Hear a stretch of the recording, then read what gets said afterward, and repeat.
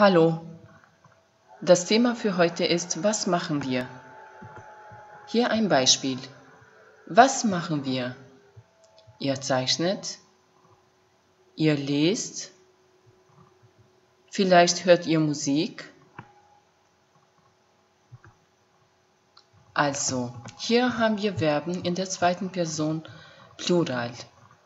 Ihr spielt, ihr schreibt, ihr turnt, ihr fahrt. Skateboard, ihr würfelt, ihr zeichnet, ihr malt, ihr bastelt. Ihr merkt, dass die Verben in der zweiten Person Plural ein T am Ende bekommen.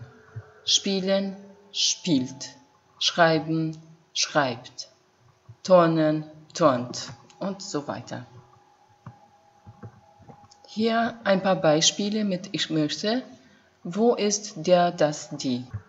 Ich möchte turnen, würfeln, basteln. Ich möchte schreiben, malen.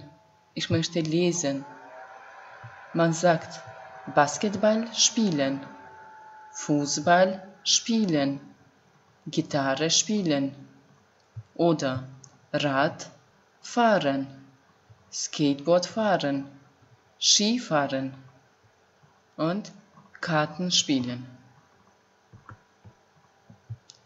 Ich möchte malen. Wo ist der Malkasten?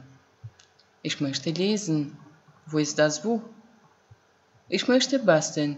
Wo ist die Schere? Also der bestimmte Artikel maskulin ist der, der Malkasten, Neutrum, das, das Buch und feminin die, die Schere.